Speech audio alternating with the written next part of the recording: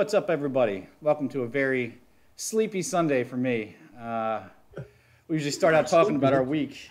It's been It's one. bright as hell outside. It's bright outside. How could it be sleep? How could it be a sleepy Sunday? Man, have, have you ever dealt with flood damage before? I never have Yes. until this past week. Oh, okay. So they say it's awesome to live close to work, and it is for the most part because your commute's short. But when a storm hits that area and your house is four minutes from work, there's a possibility both places could get flooded, and that's what happened to me this last week. So, Oh uh, woke up on Tuesday to messages from my uh, from the owner of my company saying, "Hey, I think the office got flooded. Can you check it out?" Six inches of water across the first floor of our office building, and then as I'm going downstairs to get ready to go check out the office, I step downstairs in the basement. Squish, squish, squish, whole basement's flooded. So wow. I had to shoot out of there and, shop back my entire basement Tuesday morning, then come over to the office, and I was working on cleaning the office for the next three days. So uh, Oh man, it sucks. I'm exhausted. Yeah, I bet, man. Yeah. Uh, I am not- you should get an extra day off. They should give you Monday off. You would think. Problem is, all the time I spent cleaning the office, the, my other stuff wasn't getting done. So I actually probably have to put more hours in on Monday. Uh, don't believe what they tell you, kids. You don't want to grow up. You don't want to grow up. There's nothing good about it. really isn't. and you and you don't and you and you want to leave that job to do movies full time. What's wrong with you? I know. Why would I leave that paradise to watch movies all the time and write about them, talk and, and talk with my buddies on the uh, on the internet? I mean, that seems stupid. Who would want to do that? That seems stupid. uh, welcome everybody to Cinema Royale. This is not uh, custodial talk. This is uh, this is uh, Tra- Travis and John Nolan here talking movies. Uh, we are the Punch Drunk Critics, or two other Punch Drunk Critics. Um, I was just thinking we should start a stream, like a like a like a Twitch group Yeah, for for, for film critics who are also uh, gamers. yeah. I mean that, that that Venn diagram has to cross over quite a bit. So Well, I was I was I was on there last night, and there's a there's a group for just pro wrestlers who are gamers. There's a whole bunch of them. oh really? and they have their own little group. But, you know, I was like, we should we do one for film critics that are also gamers. Like, I, I don't know how many of them there will be, but I'm sure there's some. I mean, you know, you know, critics. We love a chance to promote ourselves. So if we set up the group and call some people in, I'm sure we'll get some. Yeah, I think we could do that. I might, I might actually look into that once I reach the point where I can create a team. That's a good idea. Yeah. I'm not there. I'm not. I'm not quite there yet. I'm still. I'm still building my my group. I haven't quite got to 50 followers yet. I'm, I'm getting there. Well, and that's wants uh, cinematic underscore enforcer or just enforcer. Underscore. Cinematic Underscore underscore enforcer. So make sure you uh, you uh, follow Travis on Twitch with that name. Um, we were talking last week or something, and this is going to go into inside baseball business, but uh, doing a couple contests or something like that to get people Oh, on the train. So we need to we need to get that done. I think I got some We're stuff definitely going to do some. We're definitely going to do some contests on there once we reach a certain point.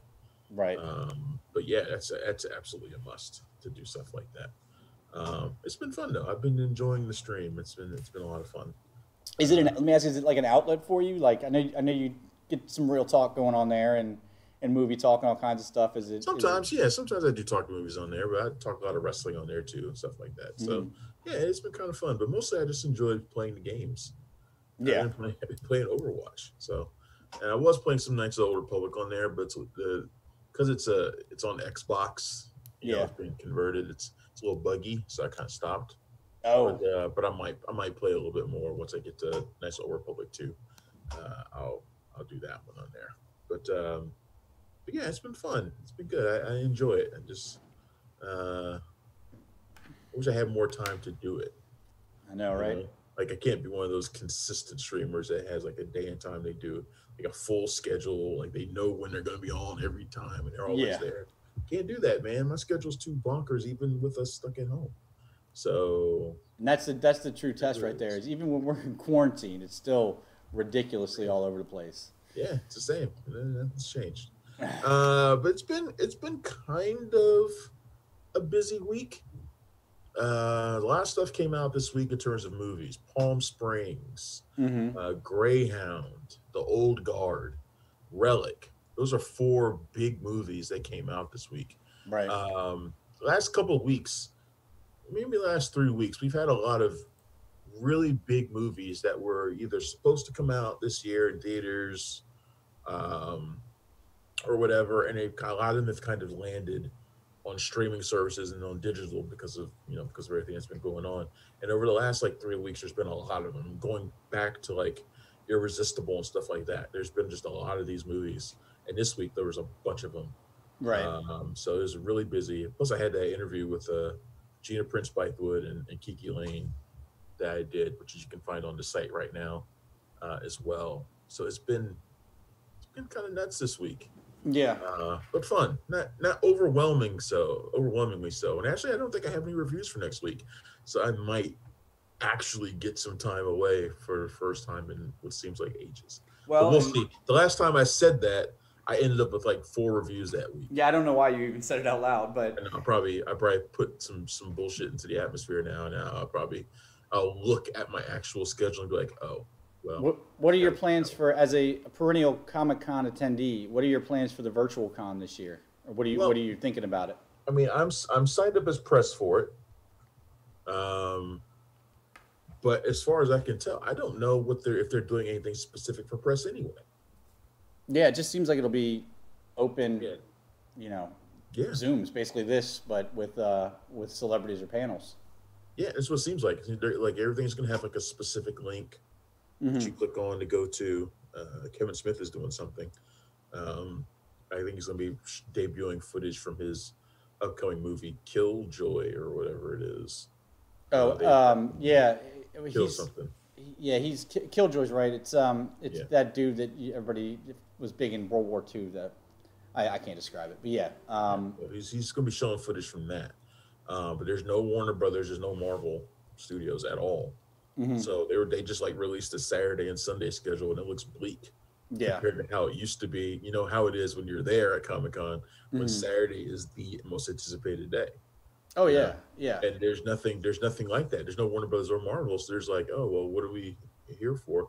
I don't know what looking at the schedule like normally on on comic-con weekends on comic-con years i would um i would post the schedule like every day like that every day they put it out. I'd post the schedule like these are the things to look forward to. I don't have anything on there that i'm seriously looking forward to.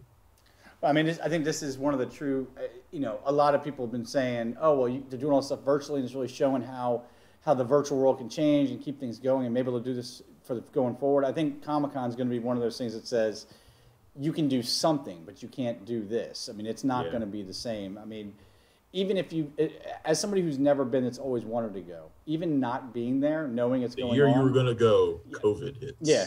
And so I'm sorry, everybody. This is all my fault. I started saving money for something I haven't done for the last 10 years. And Oh, here we It's all are. you know what you should do now you should go to sundance instead that's that's actually a good idea. If it, if it, I, actually haven't touched that savings money that I had. So that's, uh, that's a good idea. should go to Sundance instead. Assuming because they've already announced a sort of hybrid festival of like online and stuff that's going to be like at multiple locations outside of Mm-hmm.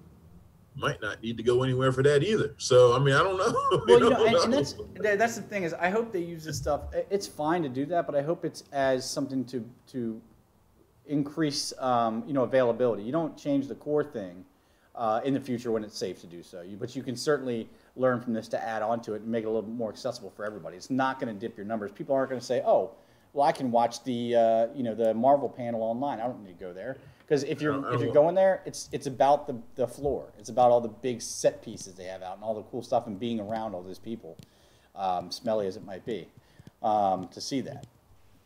I mean, I don't want these things to get too available. I like the exclusivity of it too. So Yeah. um, you know, but uh, that's that's partially the selfish part of me that want that likes it. Mhm. because I can get into those things. But, but I mean, I don't know. They lose some value, and everybody can go and do the same thing. Everybody can go and do the same thing. Well, yeah. I mean, the exclusivity. But if if what everybody can do is see the panels. I mean, the panels they, they'll never really do that because you know they, they always have some clip or something they're not showing to the public, so they won't show that. But you know, Yeah. put putting some of the you know CW panels online or whatever is Yeah. is fine. But And the, thing is, most of those things are become available online anyway. Like Yeah. yeah. most of those things they put them online anyway, but they'll edit out like any footage that they show. right. Right. Yeah. Like the Marvel panels, like every single one of them has been online. Mm-hmm. You can find them all, uh, but they'll cut out like the part where they show the, like a trailer for something that no one else got to see. Right. like that, like that very first Black Panther trailer that they showed, that no one has still ever seen. Like it just never came out. Did that never out. come out? That never. The very first one they ever showed, the very first footage of it, which I remember being there for it. They never, they never put it out. Ryan Coogler had begged people in the theater, please, in in, in Hall H, please don't, don't, uh, don't put this out there. And, and that was like the listened. one time, the one time where people actually didn't do it. Like they didn't put it out there. No one did. It never came out and it was mostly the the, the car chase and the, the fight scene at the casino. Mm-hmm. Um, it's mostly what it was, and, and, it was like we were like everybody was blown away, of course. Oh yeah, yeah. But uh, that that trailer never came out. The one that they eventually put out by Panther was completely different. Wow. Totally different. So. I didn't, I didn't know it. I didn't know that ever actually happened. I mean, I remember the most rare. secretive one that I saw was the Mandalorian, um, and even that, I mean, it, and it was only the most secretive because the footage that leaked was exceptionally crappy. Um, yeah, because it, it was somebody. It was somebody sitting in a seat somewhere. Right. Yeah. Yeah. With their cell phone sneaking yeah. video. So. Yeah. But um, so like you mentioned, it, it has been a, a, busy week. Um, and for all I was doing, like I talked about with that flooding, I actually watched.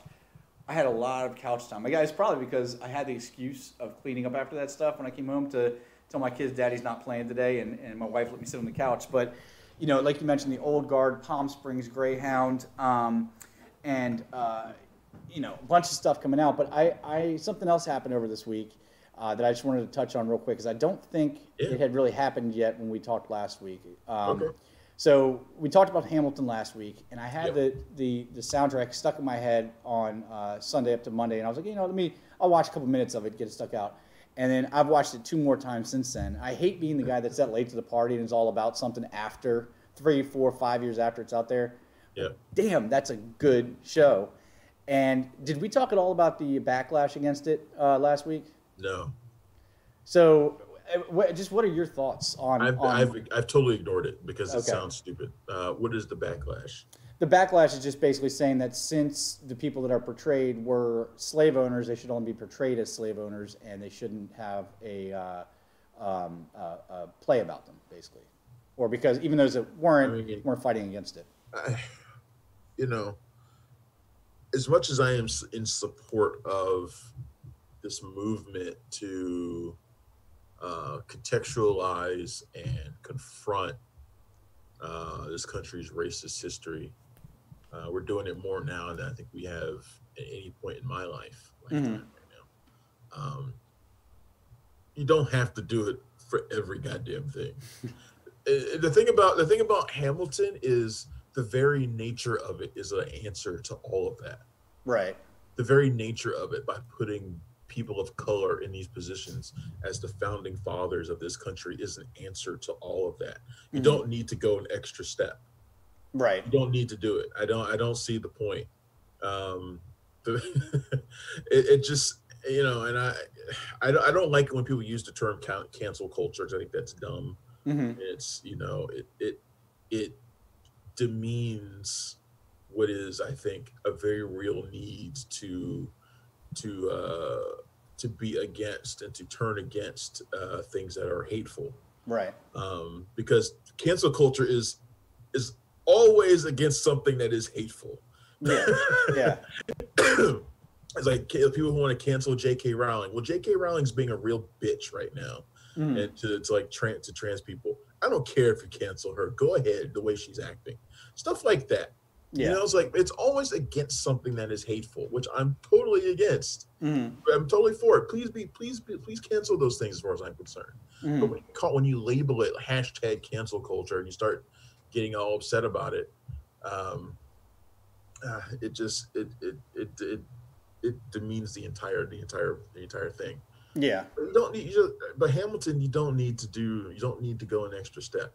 Um, like I said, the very nature of it of what Lin Manuel Miranda was doing was in response to this country's entire history of being for white men about white men, history created by white men. Right.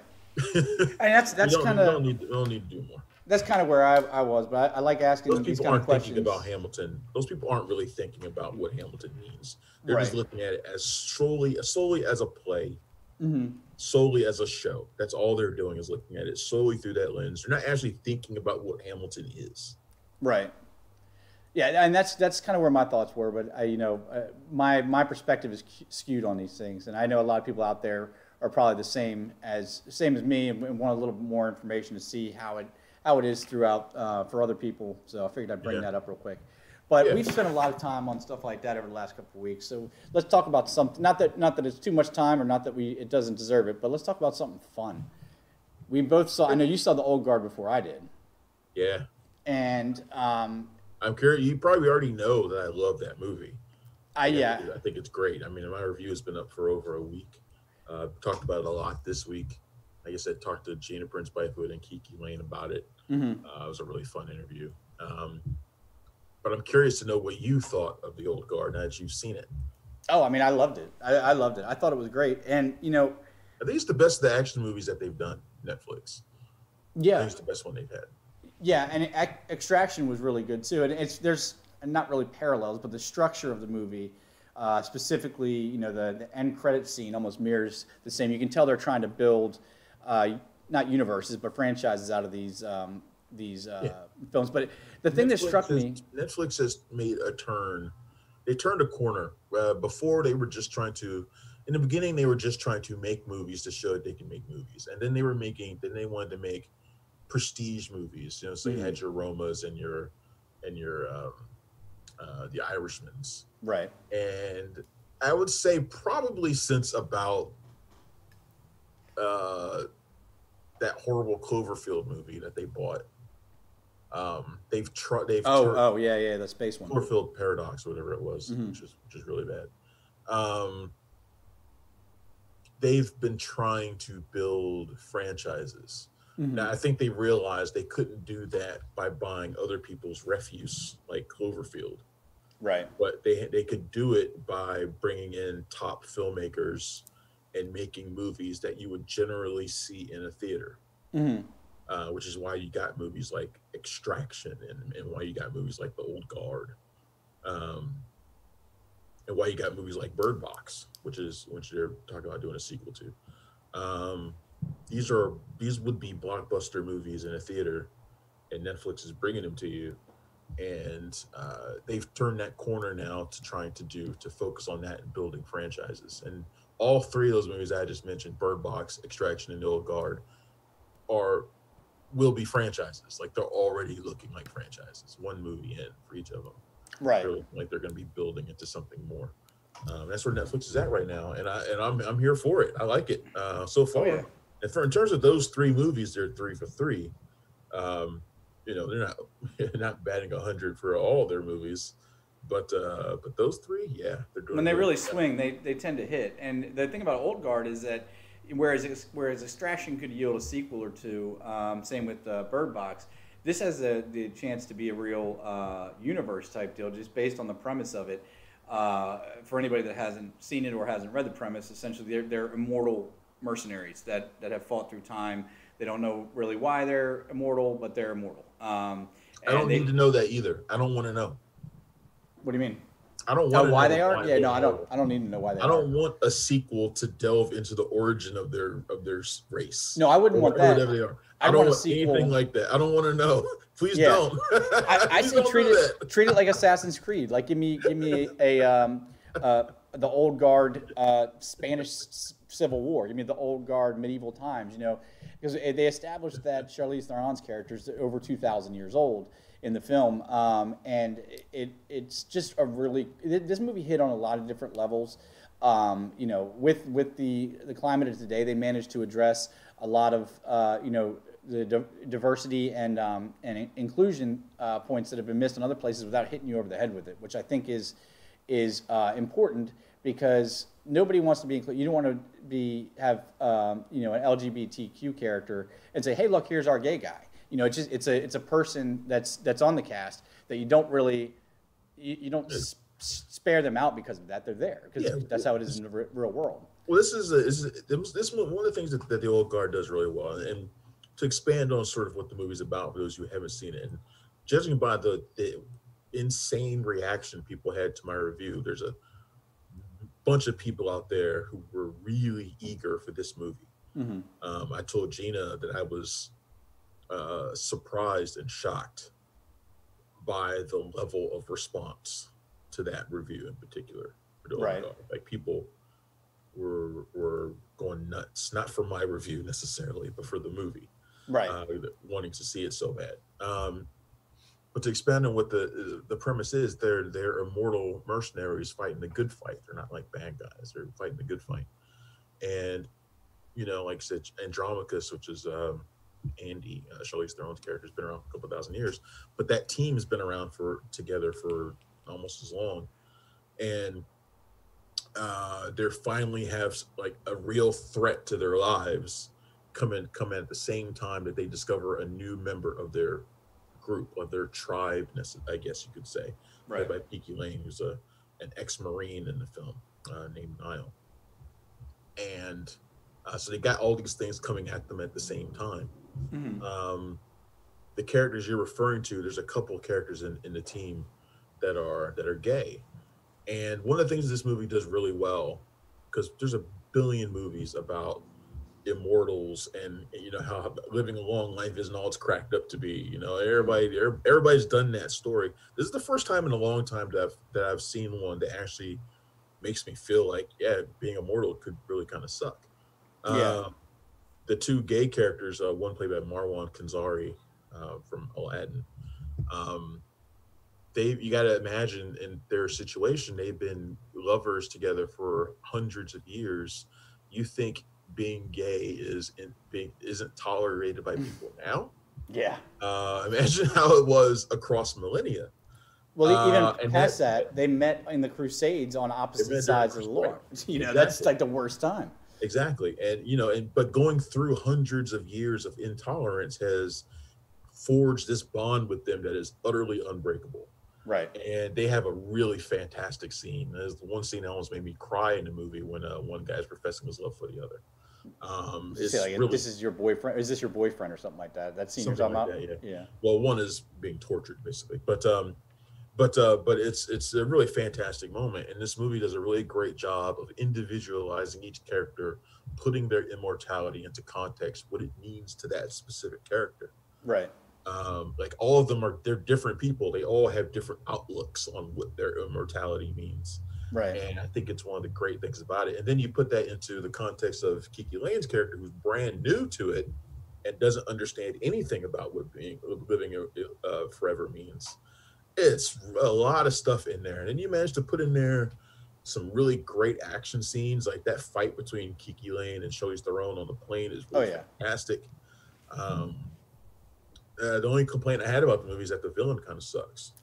Um, you know, and, the, his, and his motivation is is while I understand it, it's pretty weak, and the guy It's playing generic. weak. You know that was Dudley Durs- Dursley, right? it is Dudley. No, It it's, it's Dudley totally Dudley. Yeah. It's Harry Mel. It's Harry Melling. It's him. But um, but it's just that the, character doesn't do doesn't really do much for me. Yeah, I never he Right. never felt like a threat, like at any point to me. So Yeah, and, and he kind of came off a little. And, and I'm with you almost to the letter. I mean, my only downside was was the villain. And honestly, in movies like this, I the villain to me is something that can can elevate a film, but it, it doesn't really hurt it as much when it's a straight action movie because you kind of, ex, or at least I kind of expect the default generic bad guy, they, and, and that's they what he a was. physical threat. They need a physical threat for like the sequel. Yeah, but he, he didn't Right. even like uh, they didn't even give him like in in Venom, another movie that had had issues. Um, you know, the bad guy there, you felt like he really wanted to help at the end of the day, um, even though he was doing being evil to do it. Whereas uh, the Dudley Dursley in the uh, in the old guard, he just seems like he's evil because he wants those profits. He runs a pharma company. He wants to figure Yeah. out what's going Which on. Which is which is you know which is real. I mean, there was a yeah. if there was a Martin Shkreli type who found out that there was a Oh God. you remember him, don't you? he looks. Yeah, he looks about as creepy as Martin Shkreli. Right. I mean, he actually does. He looks he looks a little bit like Martin Shkreli. But if there was a Martin Shkreli type who discovered uh, something similar to this, do I doubt for a second that he would do the same thing? No, absolutely not. so I mean, so his motivation, I get, and it's it's it's it strikes home. I get it.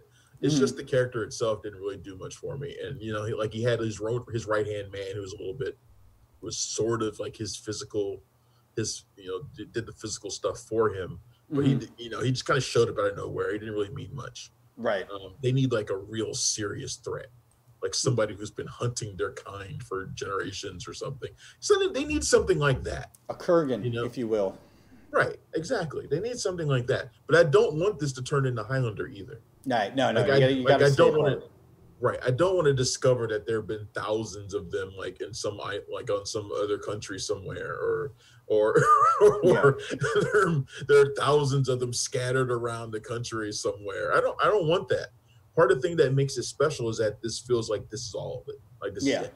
Like this is all there is. Like these five or six people, that's all there is. And like the mystery surrounding of it the is so discovery of. KiKi Layne's character is, is like a big deal. Like she's like the first one in like a few hundred years. Mhm. Like I wanted to stay like that, stay unique like that. Oh, absolutely. Now I mean, I have an idea in my head about what they could do that would be awesome. well, I mean, like- I think, I think the, um, oh, wait, you, you mean for the sequel or, or Yeah, to, for to the explain? sequel. I mean, I, I think that was one of the, and I, I don't want to spoil anything here, um, but let's just say the one thing about immortality that people don't really think of when you look at these movies is is what your most horrible possible fate could be if you couldn't die. And they kind of address that in this, and that's Yeah. that's really all I'll say, and it plays into everything. And- There, there are God, that there is- are fates. There are fates worse than death for Yeah. somebody who can't die. And and I'll tell you, it, there are very few movies make me squirm or like have a, a visceral effect on me. Just like Jesus, oh, like. But the more I thought about that, the worse that, that it, became. Um, and there, there's just so much. This, I mean, you mentioned um, you mentioned uh, Gina. Uh, how do you, what's her last Gina name? Prince, Gina Prince Bythewood. There you go. Uh, direct. She's the real director of the action movie. What's the that? first real action movie. Is her the uh, one who did, you know, uh, Love and Basketball and Beyond the Lights. Right? And this isn't hers. Her first real action movie. She's supposed to do that Silver and Black, Silver Sable and Black Cat movie for Spider Man, but they, that doesn't seem to. It doesn't seem like it's going to happen. Well, I mean, it, the first real action movie. that's the second part of what, what I was speaking to as far as the role this plays in in in, in uh, enhancing diversity and things like that is is uh, action movie directing. We we've had female action stars. It's always been a hard fought battle, and and there haven't been many, but uh, directing action films has been few and far between for female directors. I mean, you have um, uh, man, I'm blanking today. The Punisher Warzone. Uh, what's her name? Lexi Alexander. Lexi Alexander. You know, you have a couple like that, but. Uh, you you know, always this, make fun of me because I always say her name first whenever we, we talk about. Yeah, you do. I, I, that's why I was kind of pissed that I couldn't remember it. But um, you know, this this feels just like any other movie, as as it you know obviously would. It's just directing is not a gender specific thing, but um, you know, it it takes it to stand up with the best of action movies now. But then there's Charlize Theron, who, as I mean, this is obvious to everybody, but as I was thinking about it, I was like, man, what a weird trajectory for a career. Like she went to the A-list dramatic actress Oscar winner thing, and then went into the action movies, and has become just as as as uh, effective as that. But it seems like she's almost I don't want to say going backwards because that in, implies a negative thing, but she has become in her mid 40s uh, a, a first-rate action star, and uh, you know between Atomic Blonde and this only, uh, you don't even have to put anything else in there. It, it, that should put her up there. It's- It's just impressive that she's able to do all sides of the of of the stage. What? Mad, Max, Mad Max. Mad Max, yeah, yeah. That was Um, the that was the role that really did it in terms of making her an elite action star. Was that she remember they tried to turn her into an action star earlier in her career with like Aeon Flux. You know, they, they I- tried to I was saying Aeon Flux, but then no, I was thinking Ultra. I knew she was in that. I was mixing her Ultraviolet. Ultra. with- yeah, it Ultraviolet with. Jovovich. Yeah. Um, but uh, but yeah, they tried to turn her into an action star early on, and it didn't really take. Uh, didn't didn't help that Aeon Flux is a bad movie. yeah, But um, but yeah, uh, Mad Max that was 2015. Mhm. That that really did it. And then of course, Atomic Blonde was was was had some great action sequences. I don't think it's a great movie. Um, had some really good action though. Mhm. Um, and then this, uh, she's just been, you know, of course, she also did Fate of the Furious. I sh- shouldn't leave that out either. Um, yeah, I'll leave it out. Huh? I'll leave it out just because it came on the other day, and I just that haircut she was rocking in it. I don't know. It's also possibly the worst of the Fant- Fate, uh, uh, Fast and Furious movies. It's really bad. Right. Fate of Furious is really bad. Yeah. Even by like, like you can forgive anything uh, Fast and Furious standards. Yeah. That well, that that was the one It's that uh, really Jason Statham lame. has the baby on the plane, right? Is that the same one? or is that the That- sequel? that's the one. That's the one where where Vin Diesel and The Rock wouldn't do any scenes together oh, that's right. Okay, yeah, because they were beefing. yeah. so they had to like like navigate the script around that. It was just stupid. it's just a dumb movie. So all in all, I'd say the old guard is a go for your action movie pick on uh, Netflix this weekend. yeah, absolutely. The old guard is definitely a go. Uh, I'm pretty sure most people by now have already watched it. Most Right. people I know who, who are looking forward to it have already watched it. So, Right. Uh, but yeah, it's it's it's a really great film. I, I, I can't wait for them to do more, and I know they will. I did ask Kiki and Gina if they would come back for sequels. They're both uh, to Tight-lipped? it, we will watch it. So. Um, so uh, jumping over to Hulu, uh, Andy Samberg, who until I Please watched, tell me you watch this. yeah, I did. Until Okay. I saw Brooklyn Nine Nine, I could not stand Andy Samberg. I don't know what it was about it. I like, still can't stand Andy Samberg. I took heat on Twitter because I had tweeted how much I love Palm Springs despite Andy Samberg. yeah, And and I got a lot of a lot of replies from Andy Samberg fans and fan groups that were not happy with that me saying that. But you know, I, I don't like the guy. I just don't find him very funny. well, But- when, but I'll tell you, really like him in Palm Springs. the thing about Which- him is in it in Brooklyn Nine Nine is the only time that he's really likable. When he's he's goofy, he's childish, but he's also heartfelt and he's he's serious at times, um, and you kind of get that into it. And yeah, whatever. But uh, you know, it, it's when he's God damn it! Every and every every funny white man can play that role. I, I don't know. He's he's he's exceptionally good at it. Um, where he really where he really rubs me the wrong way is when he's trying to be Adam Sandler, or I should say Billy Madison Jr. You know, he's trying to he's trying too hard. Like his Parks and Rec arc, most almost all of his uh, his bits on Saturday Night Live. Uh, you know, Hot Hot Rod. These are all things where he's trying too hard, and I it comes out. Hot Rod. I hated that movie so bad. Hot Yeah, Rod. but that was one of those I wanted to walk out of, but I didn't. Um, Palm Springs though is brilliant, and let's not forget. So, so Palm, Palm Springs played at Sundance this year, mhm. and I purposely avoided it because it was Andy Samberg, and I felt bad because everyone there said you should go see Palm Springs, you should go see Palm Springs, and then it turned out to be the highest selling film ever in the history of Sundance, like 17 and a half million bucks, uh, by Hulu and Neon, which is a Wow. lot of money. Um, Neon is awesome. I love those guys. yeah, Hulu's doing some really good stuff too. Huge. Um, and the movie, and plus the premise to me sounded like, you know, it sounded like something I could take it or leave. You know, it was like, okay, How many Groundhog Day uh, movies do you need? yeah, I know. I was like, I, I, it doesn't excite me anymore to hear people say it's a Groundhog Day esque premise. Like that doesn't do anything for me anymore because everybody does it. But this is a really different take on it, and it, you know, it stars Andy Samberg as a guy who's stuck on a time loop in a time loop, doing the same day over and over again, except it's it's on the day of a wedding, and it's not even his wedding. It's it's somebody else's wedding that he's attending. Right. Uh, you know, and Cristin Milioti plays uh plays someone who's there at the wedding as well, who also gets stuck uh, in the time loop, and uh, the way she gets stuck in the time loop is really funny too.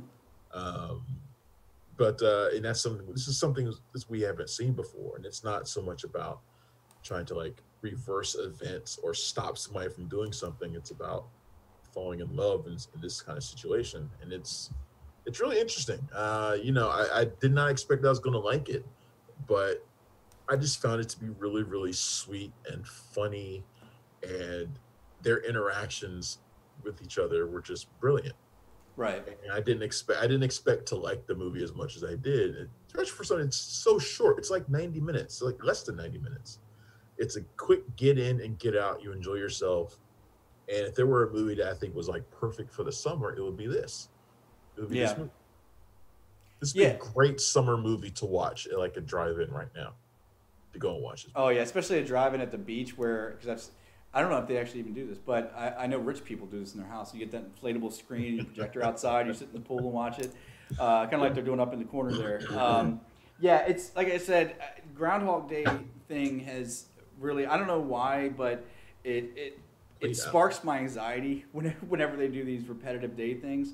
Um, Yeah. I will say this this really didn't like you know they always like the, the first time they go through the day it's the full day and the next time it's 80% of the day and then then it's just little bits of the day as they go on as long as they make that transition to little bits of the day quickly i'm good um, I did think it was it was more sweet than I than I thought it was going to be. I'm not putting that as a bad thing. It's just it was a little different than I expected. Um, but that being said, uh, it, is kind of the perfect little mix of summer movie, romantic comedy, with a, little bit of, of lean on the comedy that uh, that I think you know as a date movie will will definitely work out.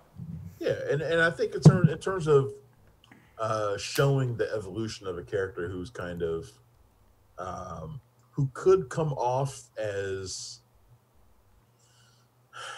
problematic, which Andy Samberg's character is, because he's, mm. you know, I mean, he's he's doing the same day over and over again, but he's kind of taking advantage of the situation in some degrees. Um, right. Wouldn't wouldn't we all? I mean, not in the ways he does, but yeah, yeah, of course. um, but it could be problematic. Yeah. I was thinking, I was thinking about. I guess what I'm, what I'm thinking about when I say that is there's been I'm not, that's just not necessarily backlash, but I guess a reexamination by Joseph Gordon-Levitt of of 500 Days of Summer. Yeah. Um, you know, because his character, you know, his character is really obsessive over Zooey Deschanel's character in that movie. Mm. And you know, and that was my favorite movie of that year, and I still love that movie. I actually remember you really liking that movie. yeah, I, I, adore that movie. Um, you know, there's been, and he sort of re-examined it and talked about how that, you know, the villain of that movie wasn't her, it was him. Mm-hmm. You know, and I don't know if that's a context that we had back then when we were watching it. We, we watch it, you kind of look at her and you're like, why won't she be with him? Yeah, you know, you know it's kind of like, you know, but but the thing is, the thing is about that movie, um, and why the, the re-examination of this is interesting is because I always felt one of the things that made that movie great mm-hmm. was that at the end it kind of comes around to that position. Like yeah. it kind of comes around to that position that, you know, in fact, it does come around that position. No kind of about it. Not that he's necessarily a villain or a bad guy, but that her feelings are to be respected. You know, he's not respecting her feelings at all throughout that movie. Yeah, she's not a game to win. She's not a trophy. Right. She's not. She's not a prize or anything like that. She's a person, um, and the movie eventually comes around to that of him mm-hmm. recognizing that. So yeah. it, it, didn't, it, didn't, feel like it needed to be a movie, a movie that needed to necessarily be re-examined. And I don't necessarily think it needs to be. He needs to be placed as his character needs to be placed in the light of being a bad guy. Right. Uh, you know, it was but, just seen from his perspective. And all of us who've been through bad breakups cast the person who broke up with us as the bad guy. Oh yeah, I mean, like one hundred, like one thousand percent of the time, we cast that person as the bad guy, whether they are or not. We may eventually get when we get over it. That's when we realize that that that we need to respect that. And that first week or two, there's not, but not at first. Yeah, yeah, no, that's not how it goes. Never how it goes. We all do that. I've done it. You've done it. Everyone's done it. So I don't. but but uh, Palm Springs sort of does the same things in some ways. Mm-hmm. You know, because his character goes through a lot, especially when it comes to matters of love, and his character goes through a lot with Cristin Milioti's character. Yeah. Um, which I don't want to spoil because it goes through a lot of evolutions over the course of 90 minutes. Yeah. But he could easily be cast as as being somewhat of a similar character. Well, I think if this movie was made 10 or 15 years ago, it would have been the same as 500 Days of Summer. I mean, that's something that took a long time to come around is that kind of dichotomy of the good-looking guy versus the uh, ugly guy. You know, ugly guy does the same things the good-looking guy does. Good-looking guy's sweet and cute. The ugly guy's a stalker. You know what I mean?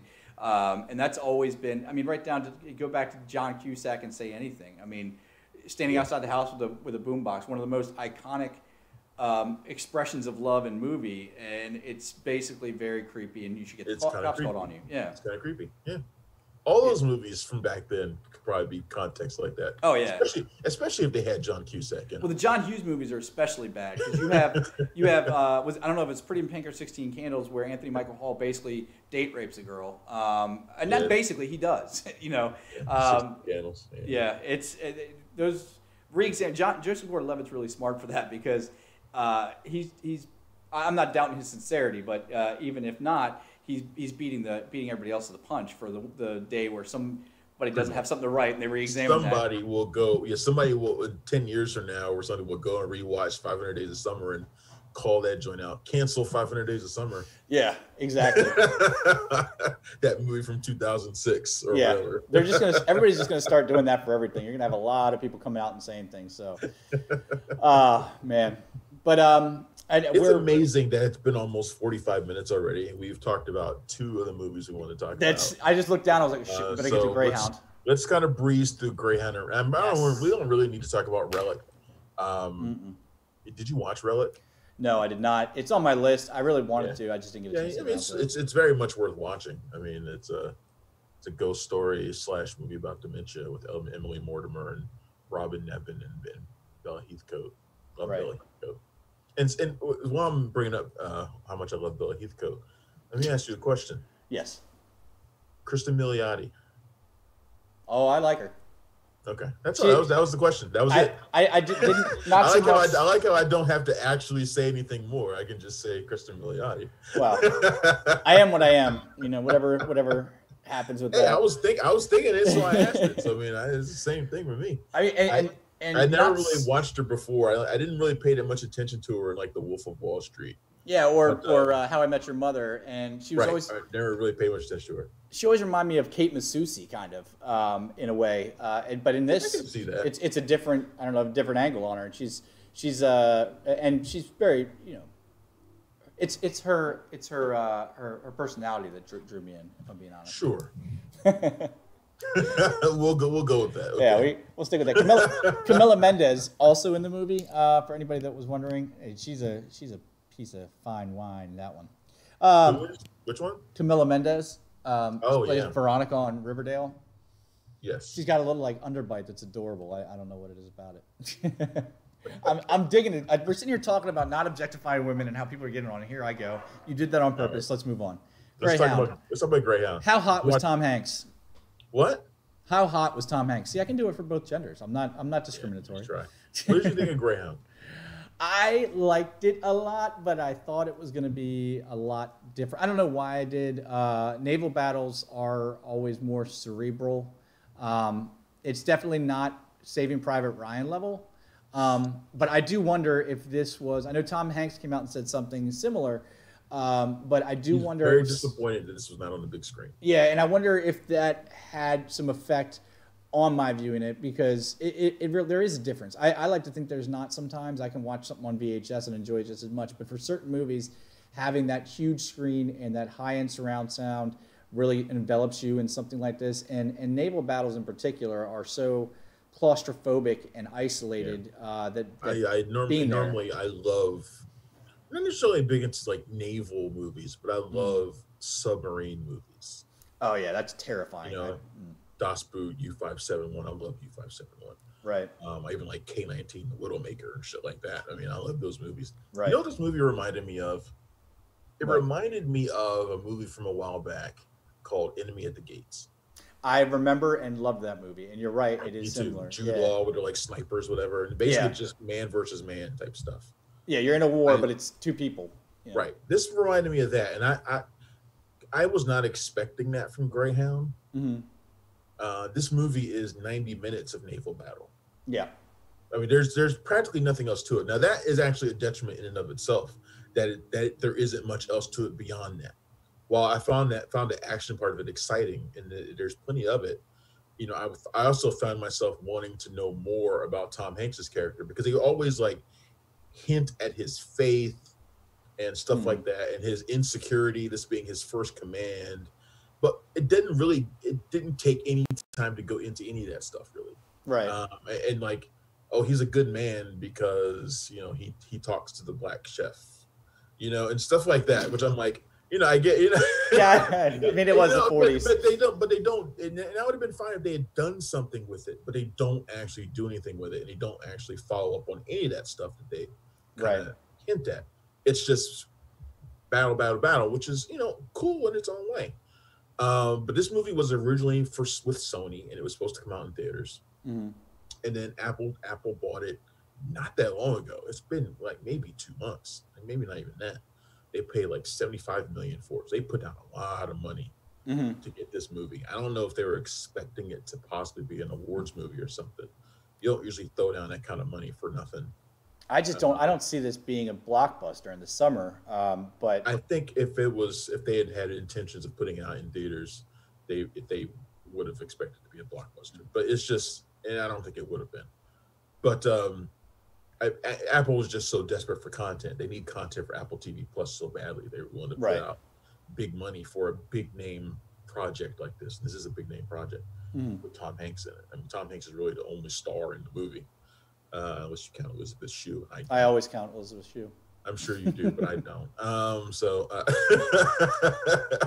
as much as I like Elizabeth Shue, I don't count her as a big star. Uh, Right. But there's not much more to this movie than that, and that stuff is really exciting. The the battles are really good, well, really very well done. Mhm. Uh, can't remember the name of the guy who directed that thing.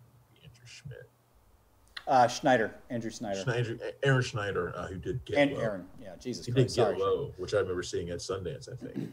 Um, this is not the kind of movie you expect from him either. It's a Mm. different kind of film for him. But Greyhound is a it's a solid movie, and I hate that word "solid" um, 'cause it doesn't really mean anything. It's like interesting, it doesn't mean anything. Yeah. But but but in terms of like describing it, I guess I will. I, I guess I, in- in my in my review, I descri- described it as as admirable because that's what it is. Like I like I feel like it does a good job of depicting the heroism of of you know these these World War II naval captains. You know what they what they what they would risk. What they're up against. Yeah.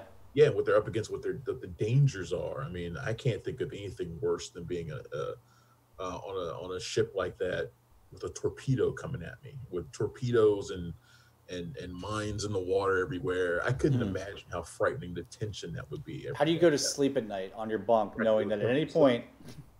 Yeah, and that's I mean, so that was the the biggest draw to me was was not the action, but and what I think they could have used more of was the suspense. I mean, what what you're hitting on there is is the biggest draw to this movie. And and when I first saw the trailer, I was thinking Jaws with uh, big naval warships because you have the the Wolf Pack, Nazi Wolf Pack, which are their U-boats that. That there was nobody matching the Nazis underwater during World War Took me out of it when that guy was calling them and speaking in English too. Yeah, That that part didn't work for me. I, But- I understand why they did it. It might have even been true, Mhm. but it didn't. It didn't. Work. yeah, it did. It did like kind of separate a little bit, but It, it sounded like something out of a uh, like, like out of a David Fincher crime movie or something. Like it didn't. Right. It, it, it just did. It didn't. It, it sounded like something out of a serial killer movie, and it didn't. It didn't jive with the tone of the rest of the film to me. That's all. Yeah, no, I mean, and and not seeing them is is the. I mean, there there are scenes and stretches of the movie where you're wondering when they're going to attack or if they're going to attack, and that to me has to be played right to make it not boring. But I think that's could have been the biggest strength of this. But um, you know, and, and then what you men- mentioned about, and it's funny coming from me because I'm the kind of guy that's always like, I don't need anything but action. Give me all action. But you have to pick and choose your types of movies. You know, if I'm watching Bloodshot with Vin Diesel, I don't need to know that he played youth soccer and was really good at it. But when you're watching a movie like this, where it is action, but it's also character driven, and you have Tom frickin' Hanks in the lead, that movie should be two hours long. It shouldn't be 90 minutes long. You know, you know, you mentioned the runtime, which is, is surprisingly short for something like this. And um, you know, that time that was cut out was cut out of exactly what you were looking for. I I think pretty much every movie I've watched over the last two weeks has been about ninety minutes. It's been trending down. It has. I mean, for Yeah, so been really interesting. I, mean, I think the shortest movie I watched this week.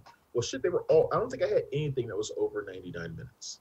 and I'm fine with that. If for I'm the for the right type too. They movie. can all be that way as far as I'm concerned, as long as you do it right, as long as you maximize the time. Yeah, right? if you I can fit care. your story. I don't care. yeah, but in this case, you can't fit your story in 90 minutes. You- You have to sacrifice depth of story. You have you have to just assume that Tom Hanks is a good we're, guy we're because he talking talks about we're talking about uh, well, real events and real you know real things that happened and hmm you know real battles. I expect a little bit more depth right. uh, so for a movie like this than I do from Palm Springs. yeah, we need more depth. Pun intended. Like essentially the same runtime, and Palm Right. Springs accomplishes more, and it's ninety minutes. Exactly. But that being said, um, you know, I think I, I I enjoyed it fully. Uh, I think a lot of people will. I think obviously if you have Apple TV, Your your dad will your dads will like will like Greyhound. your dads will love Greyhound. This is like this like the kind of movie that your dad likes. I Yeah. don't care who your dad is. Your dad probably likes Greyhound. Yeah.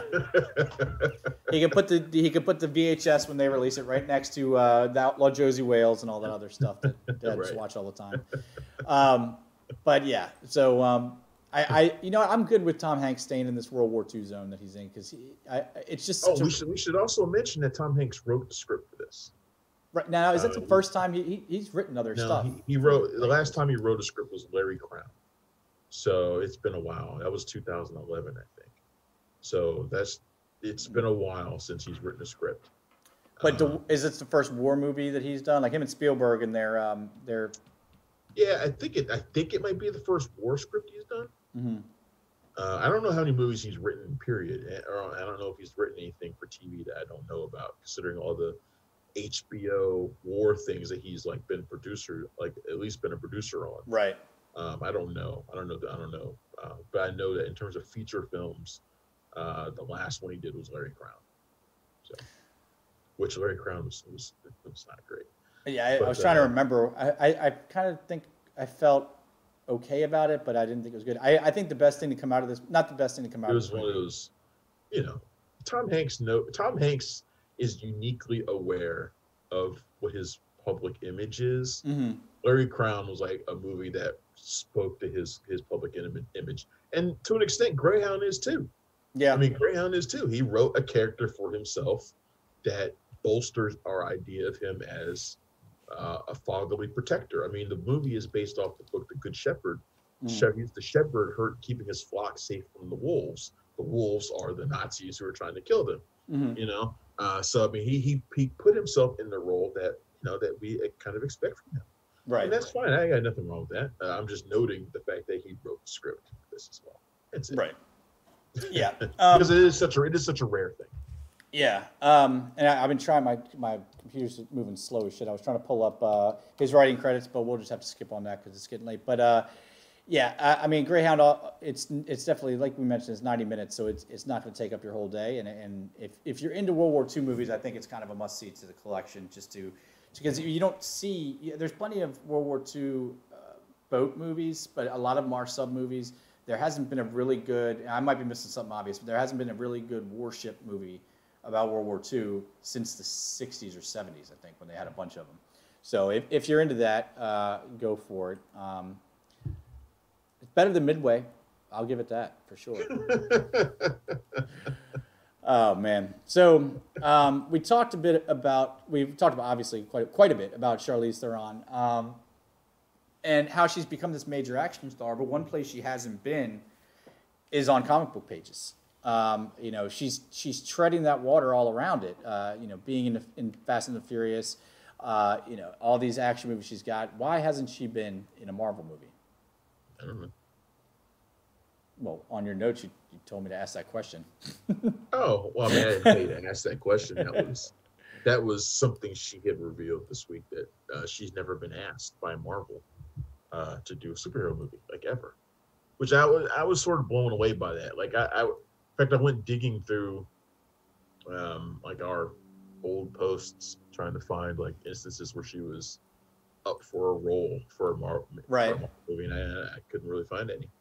Um, but she said she's never been asked by Marvel to be in a superhero movie. I just found that amazing, considering That is, yeah, all her, that she's done and all that she's accom- all that she's accomplished, and all the people who have already become, who have already joined Marvel that we never expected to. the Um, only thing. Angelina Jolie and Eternals coming up. Angelina Jolie. And that blows So- out my next thing. Is I was going to say the only thing I can think of, and this is going to go back to sounding a misogynistic pig, but it's the truth the way that Hollywood works. Is she is older, and they sign these um, they sign these uh, character contracts for ten years. They're looking to get out of somebody, so um, you know she she'll be in her mid fifties by the time her movies are, are done. But even Yeah. still, I that seems that's a- reason. I don't it seems a stupid thing not to. They have to have a list, and she's got to be on the list. How do you not not ask her? Honestly, honestly, I think they're just waiting for the perfect role. And at some point she will be in a Marvel movie. They'll ask her to do something. All right, so cast it. Just to- totally uh, outside of, of what um, they've announced, just in a hypothetical world, which Marvel character is she best to play? I would love to see her as like this. This won't happen because there's already another version of this character. I would have loved to have seen her as as Valkyrie, um, but not the Tessa Thompson Valkyrie, like the original Valkyrie. She would have been she would have been great um, as that. She could still be Yeah. that actually, um, but that that won't happen obviously. Well, there Um, were a fleet of Valkyrie, but yeah, it there were a fleet of Valkyrie, but there were there was one particular Valkyrie right. for a long time. Tessa Thompson's Valkyrie didn't exist in the Marvel universe Mhm. before she was on Thor Ragnarok. So, Right. um, just like the Valkyrie, uh, Charlize Theron would have been great for that. I'm sure there's plenty of other things that she would have been fantastic for that I can't think of off the top of my head. Yeah, and this is um, this is why I'm not a it's just- I casting director because Yeah. I'm stuck. Because she's blonde, obviously, so I'm just thinking of blonde characters. I have no vision. She's not blonde. She's not blonde in the old guard. That's true. She's not. So I always think of her as blonde. She's not that's blonde in, in Mad Max. that's the, that's what I'm saying. She doesn't have any hair in Mad Max, She but can that, change. She can change her look pretty easily compared to a lot of other people. oh, I, I, really- I'm not highlighting her her lack of versatility. I'm highlighting my lack of vision. That if Here's- somebody's here's- blonde, I here's- could always see them as blonde. Here's the question now. I was like Sue Storm. Sue, no. Here- here's here's the question. Hmm. Charlize Theron. Oh yeah. Oh yeah. Hundred percent. Hundred percent. But no, I, th- I do think they're just waiting for the perfect role for her to come around, and she will eventually do it. I don't think it has to do with age. The people that, like I say, Jolie's in there. They've had Tilda Swinton in there. I Mhm. mean, they've had they've, uh, and her role was pretty actiony too. Um, Right. But uh, I don't I don't think they're I don't think they're worried about that. And and, and let's be real, Charlize Theron looks half her age. All, Yeah. You know, she looks half her age, and regardless of how she looks, if she looks half her age, she's badass right now Yeah. doing whatever it is she's doing. I mean, so she, there's a ton of stuff they, that Marvel, I'm sure Marvel has their eyes on something that they would love to ask her for, and that at some point it will come around. We just, Yeah. just haven't got there yet.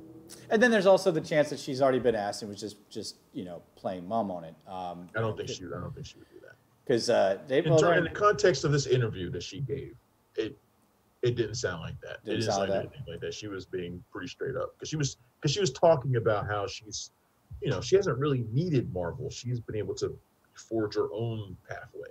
Right. That's, that was the fact. That was the entire point of it. She's able to do Mhm. her own thing. She hasn't needed Marvel. Um, you know, so I don't. I don't think they've been asking her for anything. I think she's legit. She legit hasn't been asked yet, but I, I think that will come around at some point. So sticking in the in the comic book world, um, we got Janelle Mon- Monet as Storm. Um, I didn't I'm see the surprised story. these are the two stories you're starting off with. Well, we got the Batman spinoff to talk about as well. I thought Bird you would Box, I was just. Um, no. I figured it kind of it kind of went together a little bit, but um, yeah, Janelle Monae. So uh, obviously, you know they they She wants to um, play Storm. She's they're- not playing Storm. She wants to play Storm.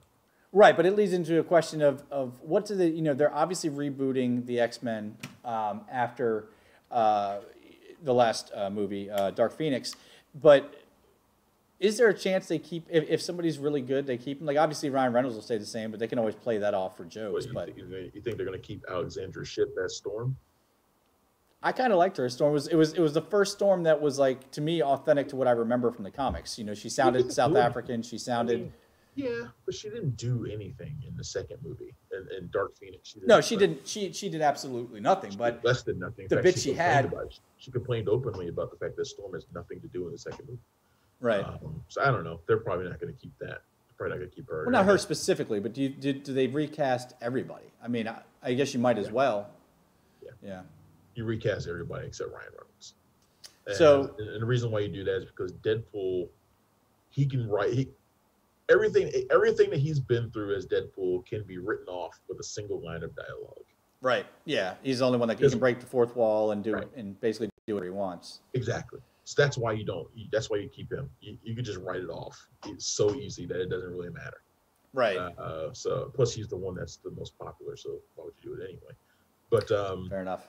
but uh, but yeah, you could just write it off as as being some sort of weird dementia or something he's going through. Whatever they could do, whatever they wanted to.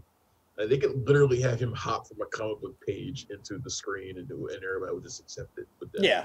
Well, that's the beauty of that character. is the complete and total utter and, and the beauty of the character plus having the exact right person to play them that it just works with him there so um all right so we'll I go like to the Janelle- I like the idea of Janelle Monae as Storm though. I mean, she's a little bit she's a little petite for it, maybe. yeah Um, but uh, you know, I just want to know Halle they, Berry's time has passed for that role. yeah, His leadership was fine for the first film, not so much the second one. She didn't get to do anything.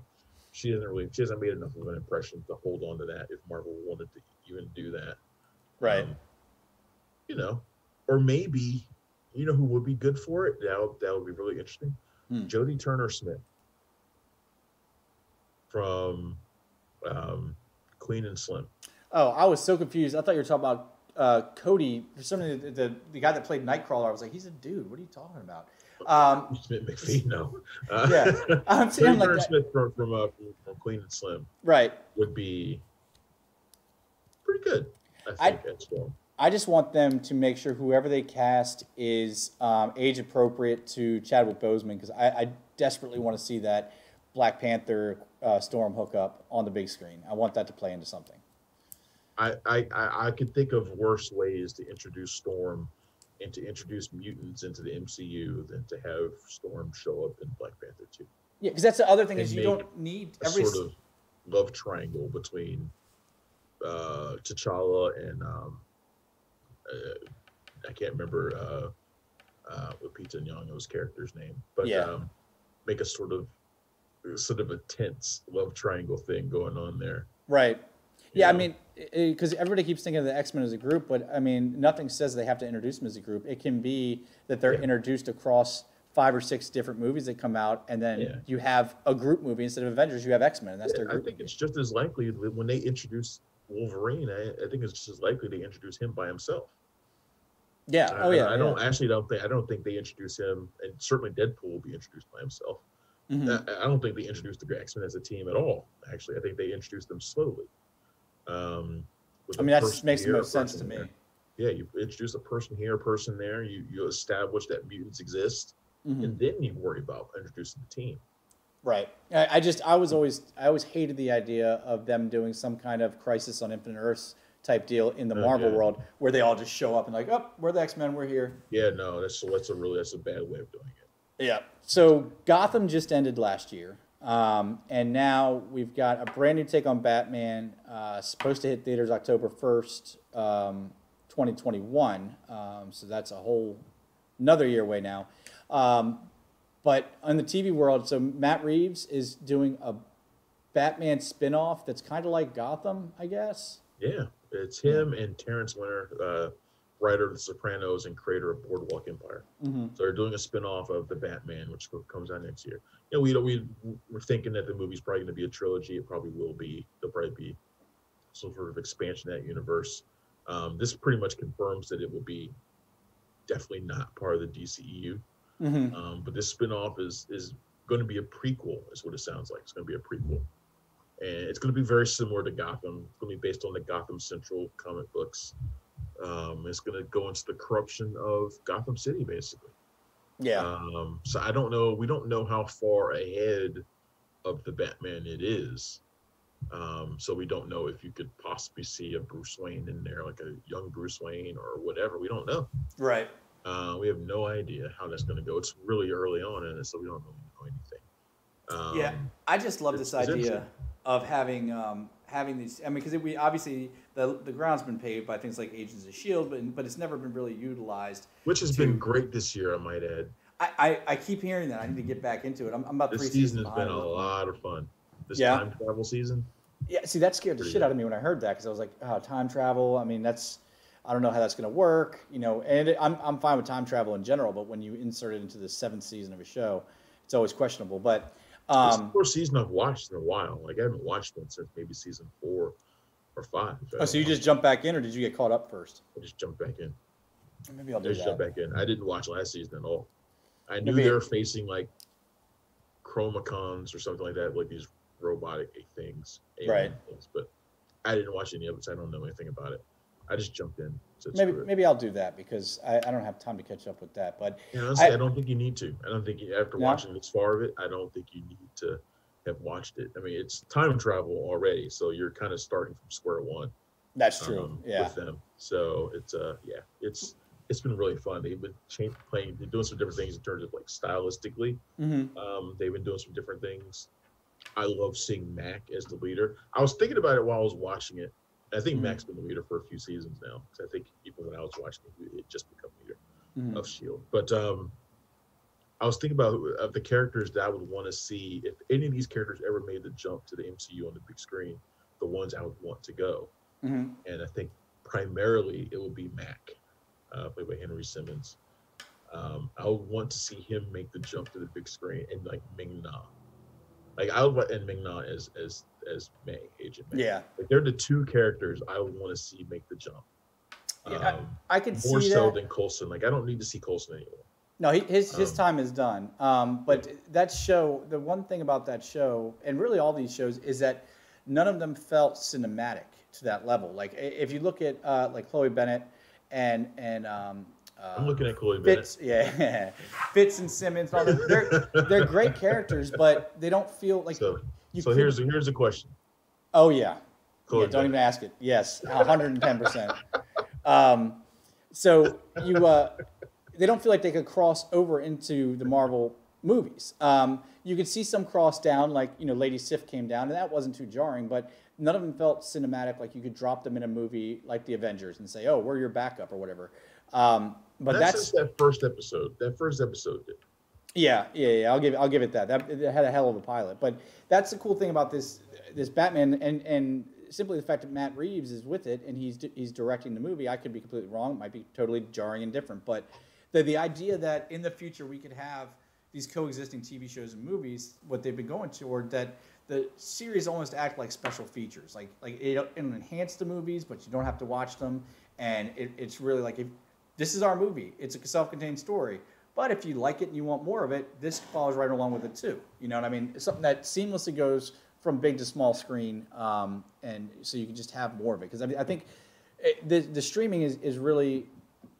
I get end up hurting movies a little bit in a way down the road that people are expecting more connection with their characters. They're expecting to spend more time with them. So it's really hard to get attached to a character, especially in a new movie that hasn't been a franchise in an hour and a half or two hours. You know, you don't feel the same connection you do with these TV show characters. I think that's one of the things I've liked about this season um, is that it's felt like one long movie.